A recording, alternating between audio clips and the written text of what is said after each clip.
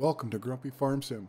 Today we're playing on Levis Modding West End 64 times map version 2.2. We're doing a hay and silage challenge today using base game equipment only. The fields we're going to be using are field 39, 40, 41, 42. Field 17 is not part of the makeup of those other four fields. So we won't be doing it, but we're going to look at how much it's going to use or how much it requires in bales.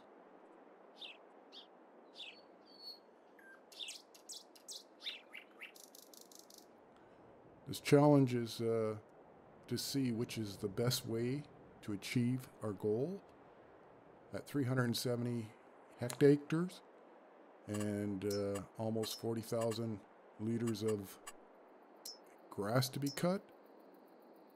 I do not think using base game equipment is the best way to do it.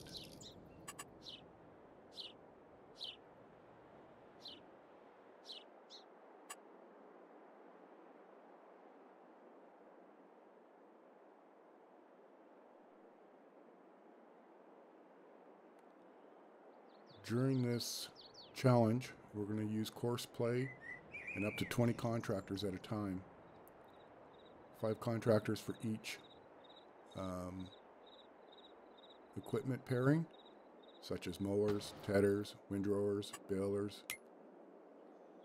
And unfortunately, we're not removing the bales from the field. Just the ones that are in our way on the headlands.